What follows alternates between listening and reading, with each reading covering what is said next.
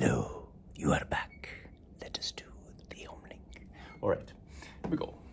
8.2, first one. Area, bam. Like that, yeah. It's like this. Count up there, one, two, three, four. Is that four? That's four, it's four. First one's four, I'm doing one. Problem number one, how tall is it?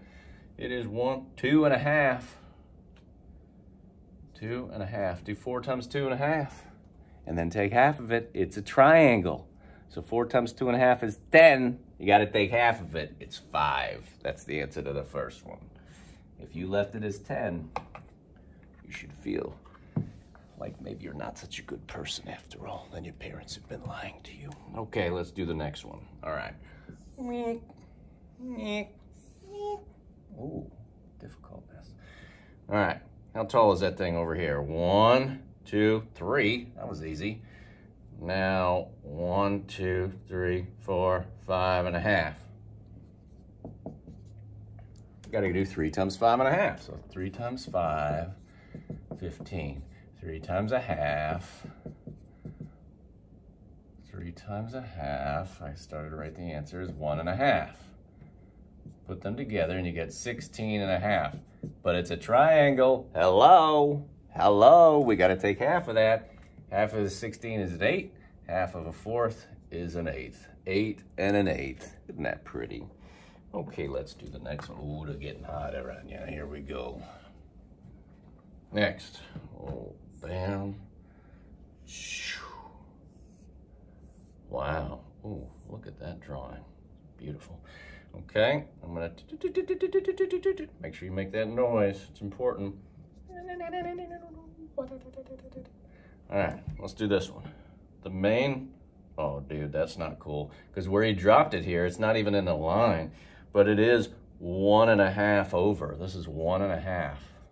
Dude, that's pretty rude. And it is one, two, three, four high. So this, this is a rectangle, not a triangle. So it's four times one and a half. So it's four times one is four. Four times a half is, half of four is two. Put them together, you get six. Okay, that chunk is six. Now we gotta figure out this chunk. So how far over does this thing go? It goes over one plus another half. That's one and a half too, or as well. And it is also four tall. So this whole thing is also six, but it's a triangle, so you have to take half of it, so it's only three. Put six and three together, and you get nine. Isn't that nice? Okay, and now for the last one. Oh yeah, they're pulling out the good stuff. All right. Whoa. Oh yeah.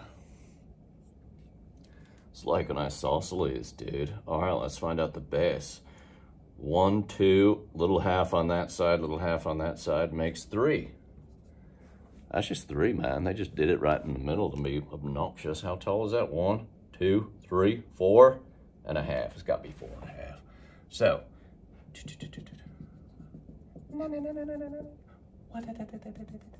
so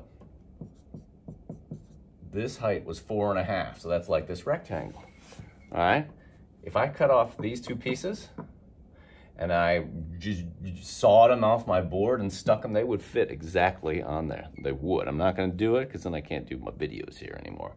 And then I might get fired too. All right, so we're going to do 3 times 4 and a half. So it's 3 times 4 is 12. 3 times a half is 1 and a half. So it's 13 and a half is the whole big thing. Right? Did I do that right? 3 times 4 is 12. 3 times a half is 1 and a half. 13, yeah. Why am I questioning myself? Confidence. All right, the whole thing is 13 and a half. I need half of 13 and a half. Half of 13 is six and a half. Half of a half is a fourth. Put them together and you get six and a half plus six, that's one more fourth is six and three fourths. All right, that one I'm gonna check the book and see if I got it right. Oh, it's right in my hand. Yes, I got it right. Confidence. All right, let's do the last ones. All right, practice. You got 0 0.14 times 8. Solve, show your work. Okay, well, I don't like it when they think, oh, you just figure out what it's going to be. I know a tenth of an 8. If this was just like that, 0.1, that's a tenth. So that would be 0.8. It's going to be bigger than 0.8 because it's 0.14. I don't know. I tell you what, I'm just doing this the old school way. I don't care whether they like it or not. So you put that decimal in there. Now ignore them. Four, 8 times 4 is 32, carries 3. 8 times 1 is 8. 3 more is 11. There are 1, two cute little things that are behind a decimal point. So you start here and you go in 1, 2. That's the answer. You're on it. And the last one. Wait for it, it's 2.75 times 4.3. Is that times? Yes, second there. I thought that's it. Devising. I mean, dividing and stuff. Okay, you can do this, all right? First of all, is this going to be like 3 times 4? The answer is going to be 12-ish, okay? Or we could do the my old way, the old way of putting in the decimal. But now you ignore the decimals. They're just gone. Don't add a bunch of zeros onto this guy so the, the decimals line up. Who cares if the decimals line up? This is multiplying. You don't care. Just ignore them now. Bing, as if, as if they're not there. So 15 carries a 1. 3 times 7, 21, 22. Carries a 2. 3 times 2 6. 2 more is 8. I'm so tired of math. Uh -huh. 4 times 5. Well, let's get rid of you. 4 times 5 is 20. 0 carries a 2. 28. 30. 0 carries a 3. 4 times 2 is 8. 3 more is 11. Did you get that? Hmm? You with me so far? Add it up. Get the tears out of the way. That's 5, 2, 8, 1, 1. Remember, my answer had to be near, what did I say? 12? Yeah, that's what I said. I knew that. But I can also do it the old school way, which is you count up how many digits are behind a decimal point. Three. Start here. One, two, three. Either way, I get the same thing, which is 11.825.